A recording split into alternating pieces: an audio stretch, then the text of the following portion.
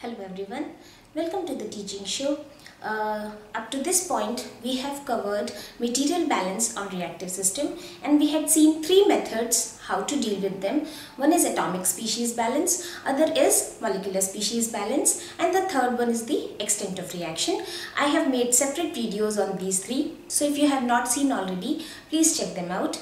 Uh, so in this video, I'm going to take one unsolved problem from Felder and solve it three ways in order to show you um, which one is easy, which one is difficult or which method do you want to choose in order to uh, solve any problem okay? So um, in this video what I'm going to do is I will take a system in which only one reaction is involved.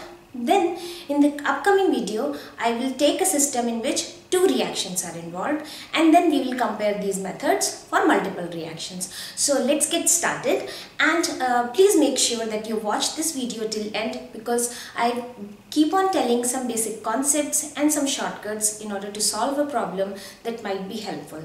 So, um, okay, let's get started. So today I am going to take a problem which is an unsolved in Felder and the problem is 4.43 you can go and see the problem statement uh, if you want to. Okay but I'm going to describe the problem. The problem is you are reacting um, hydrogen chloride with oxygen to give chlorine plus water. Okay this is being carried out in a reactor.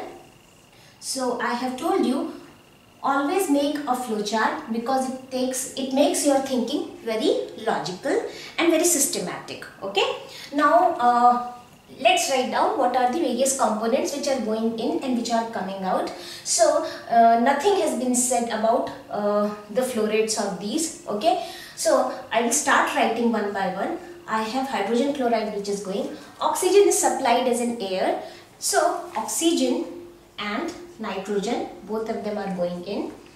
Uh, in the exit stream I will have products which are chlorine then I will have water then uh, nitrogen which is not reacting is coming out.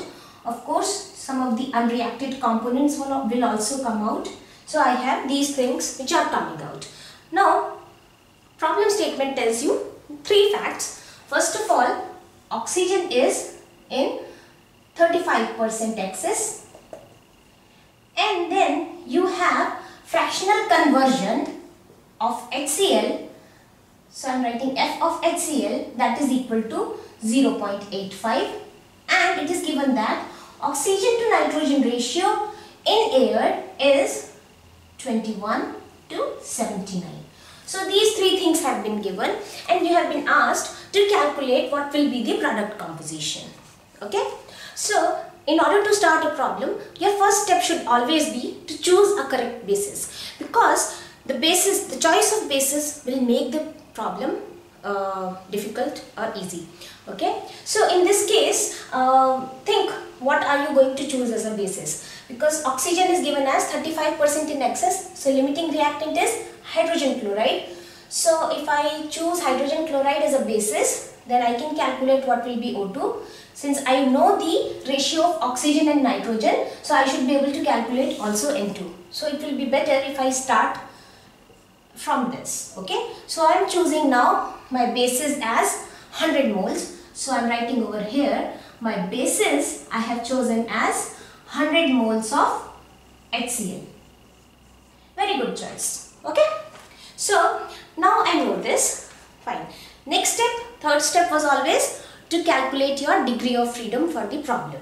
Since I am going to compare uh, my atomic species balance, molecular species balance and extent of reaction, uh, all three of these uh, methods. So, first of all, what I will do is I will compare, uh, I will calculate degree of freedom for molecular balance and extent of reaction.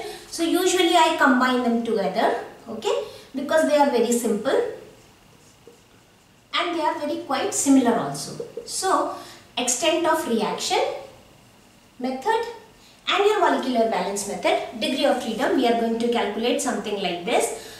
Uh, how many number of independent equations you have? So uh, okay sorry. First you have to count how many unknown variables you have. Let's mark what are the unknown variables. Let's say this is n1 n2 N4, N5, N6, N7. So, uh, number of unknown variables, how many I have? 7. Okay. Then I have to write down how many reaction do I have. So, number of independent reactions. In this case, I have only one reaction. So, 1. Then I will count down how many uh, independent molecular species balance I can write. So I am going to first count how many uh, reactive species are there. So 1, 2, 3, 4. 4 components are taking part in the reaction. So I have 4 number of uh, balance on reactive species. See I could have written um, molecular species balance I would have got 5 in number but right now I am writing 4 because I am pulling out inert balance separately okay? Then you will write number of inert balance. I am just pulling this out because I will ask you to solve it first because inert is not taking part in the reaction so whatever is going in is coming out. So it is always useful that you solve your inert balance first okay? So that's why I am pulling out inert balance and writing it separately okay then I have number of process specifications. How many do I have? 1 2 and 3 so I have 3 process specifications. So my degree of freedom is this plus this minus minus minus this which comes out to be 0 so molecular for molecular balance or for extent of reaction my degree of freedom is 0 let's quickly do the same exercise for atomic species balance. How many variables do I have which I don't know? 7. I'm not going to count the number of reactions which are there. It doesn't appear in your degree of freedom for atomic species balance. So I will um, not include that. Then I will have number of atomic species balance, independent atomic species balance. How many species are there? Hydrogen, chlorine, oxygen. Okay. Three of them are there. Right.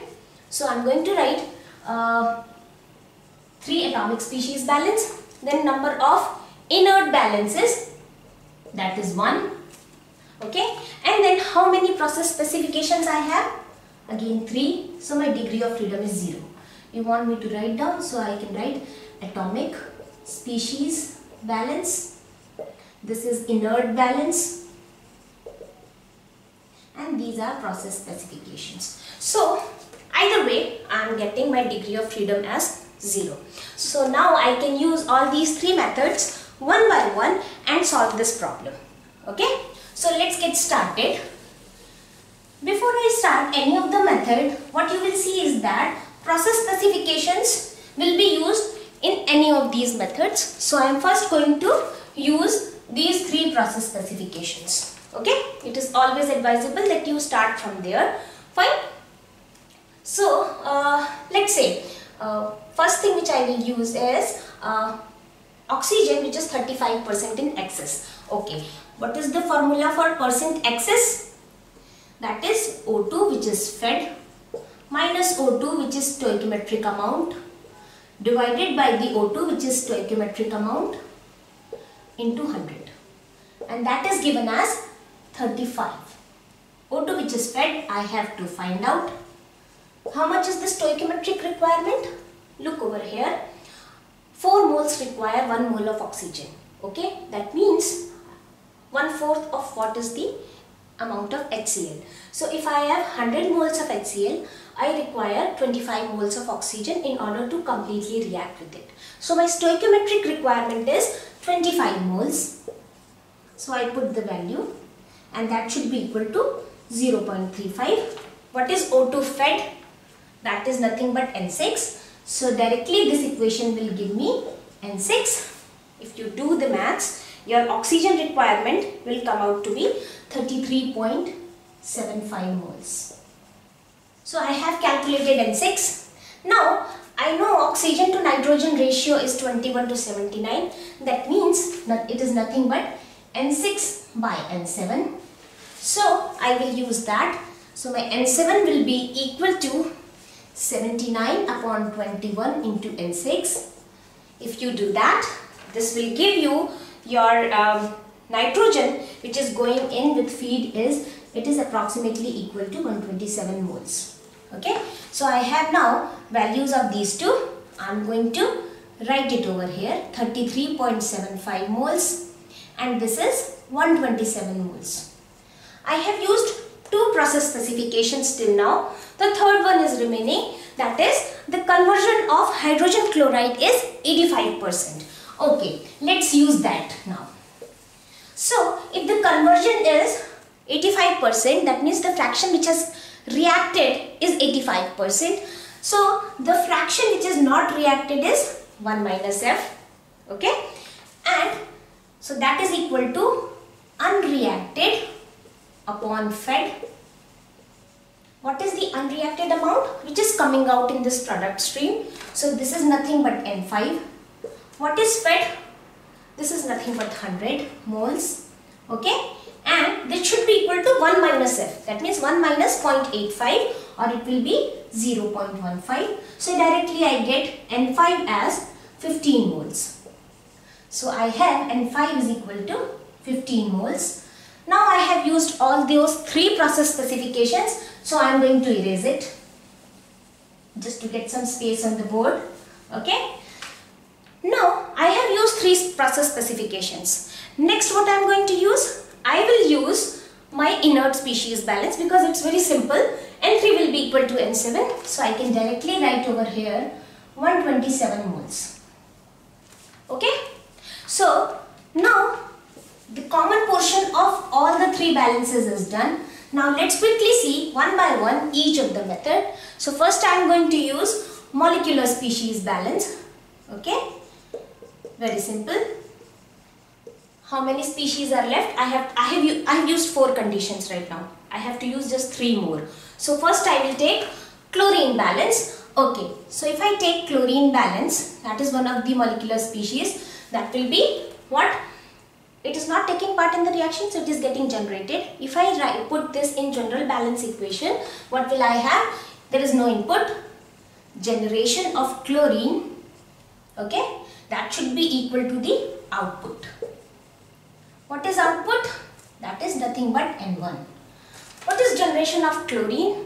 Okay, that we will calculate from the, uh, let's see, how much HCl is getting consumed. Okay, so how much is uh, chlorine generated? Let's see.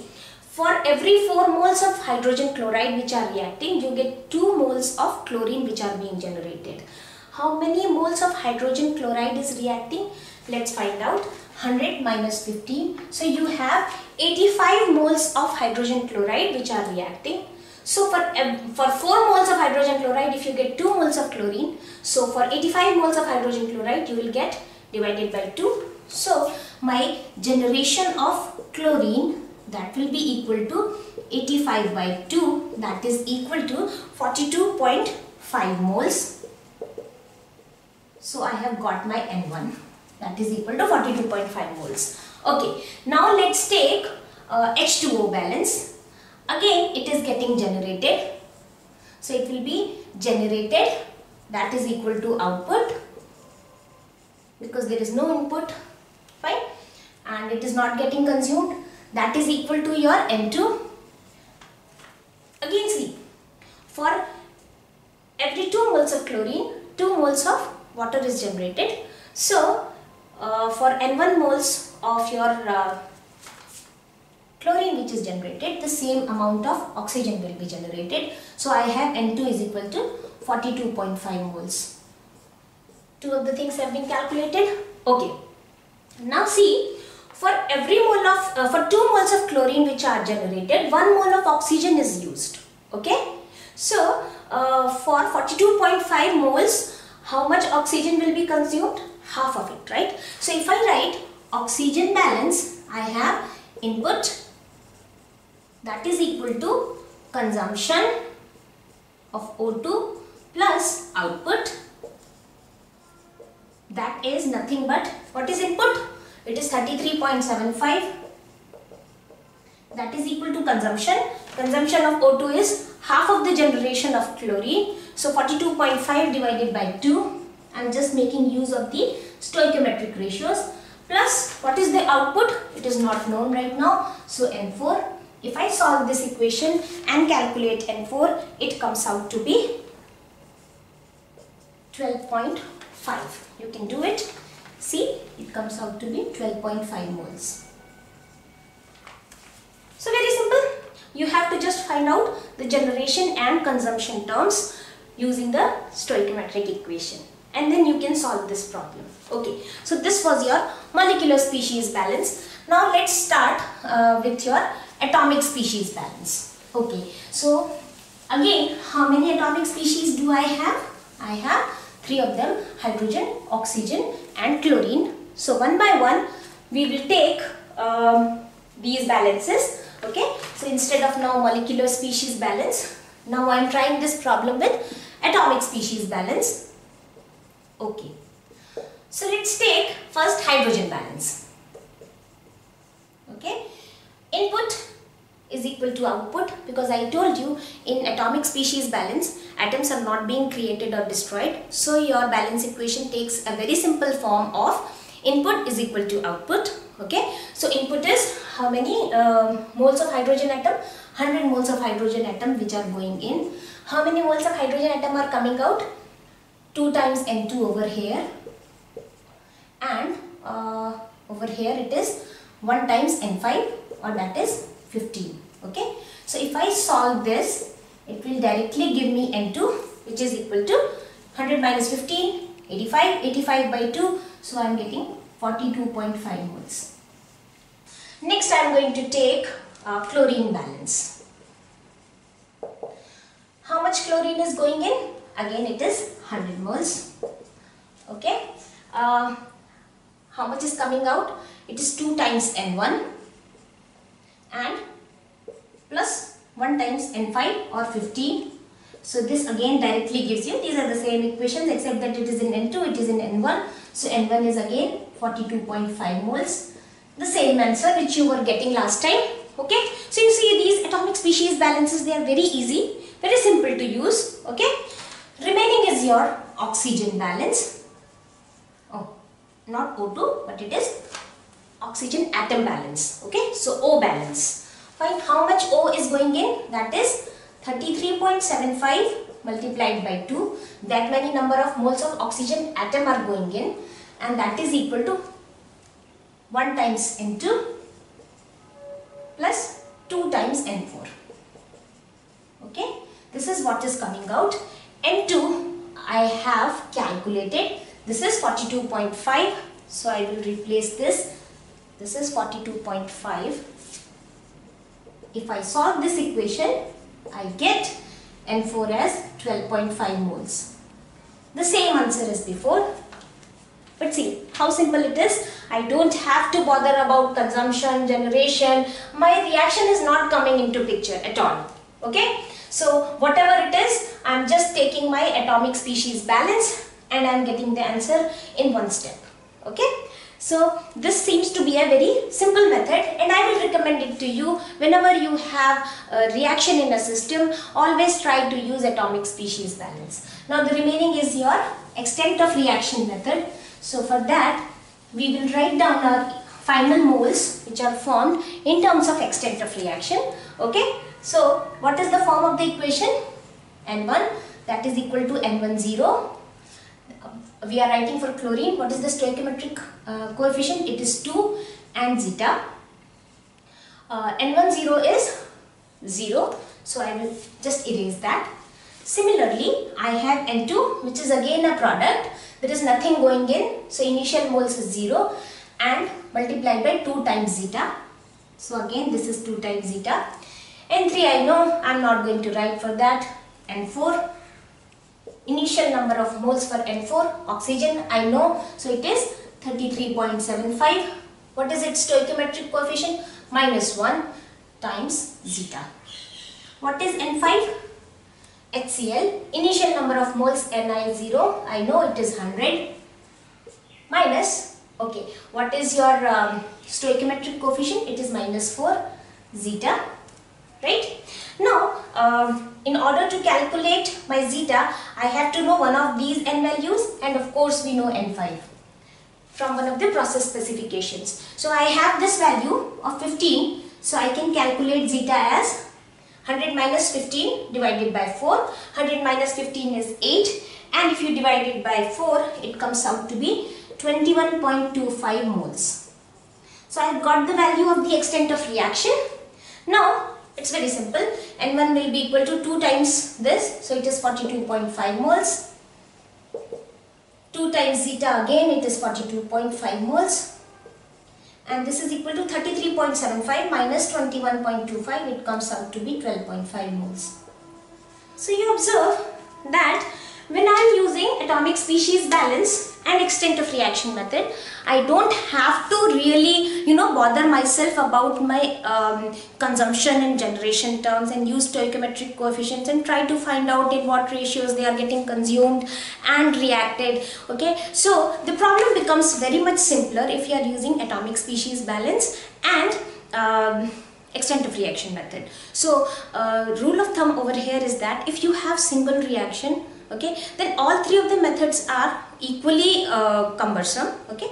They are equally good. Um, but when you have more than one reaction that we will see in the upcoming video okay? Uh, when you have two reactions and you have lots of consumption and generation terms then your molecular species balance becomes very difficult. At that time atomic species balance and your extent of reaction method it becomes very simpler to use. So see you next time and thanks a lot for watching. Uh, thank you so much. If you like this video please hit the like button and subscribe to my channel. Thank you very much